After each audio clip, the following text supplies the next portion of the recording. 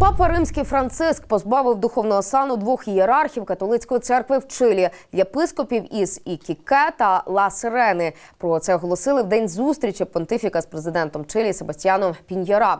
У вересні Франциск позбавив сану 88-річного священника Фернандо Карадімо, який постав перед судом. Його звинувачують в тому, що він розбещував неповнолітніх протягом декількох десятків років. У Чилі розслідування справ про педофілію в церкві набуло великих масштабів. Серед 119 підозрюваних і священники, пов'язані з церковними організаціями миряни.